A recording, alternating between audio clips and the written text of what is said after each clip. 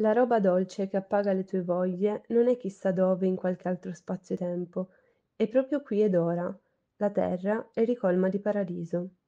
Rachel Corrie, Olimpia, 10 aprile 1979, RAF, 16 marzo 2003. Membro dell'International Solidarity Movement, decide di recarsi a Raf, nella striscia di Gaza, durante l'Antifada. Arrivò dagli Stati Uniti in Palestina il 18 gennaio 2003. Nei primi giorni partecipò ad un corso di addestramento in filosofie e tecniche non violente, per poi partecipare ad azioni concrete. Trascorse molto tempo con i palestinesi del posto. Nelle sue email alla madre racconta di come aiuta un ragazzino palestinese nei compiti, della TV americana doppiata in arabo. Si impegna in un progetto di corrispondenza tra bambini della striscia di Gaza e degli Stati Uniti.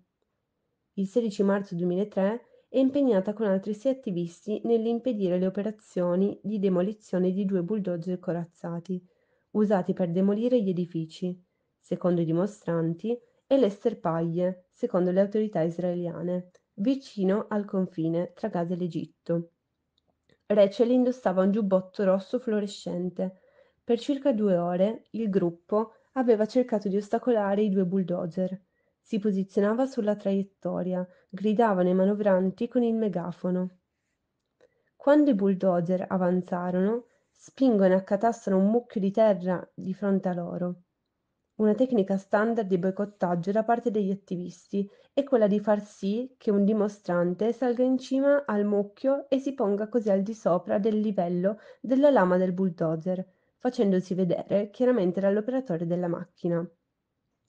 Secondo i testimoni oculari, Rachel aveva seguito questa tecnica. Prima si era seduta o inginocchiata, poi si era alzata in piedi, in cima al cumulo di detriti, di fronte al bulldozer. E così rimasta per un po', guardando l'operatore. Ad un certo punto Rachel cadde dal cumulo. Forse era scivolata e non era più riuscita a rialzarsi. Il bulldozer è avanzato e la lama l'ha colpita e le è passata sopra. I testimoni dicono che dopo averla coperta di terra, il bulldozer abbia fatto marcia indietro e le sia così passato sopra una seconda volta.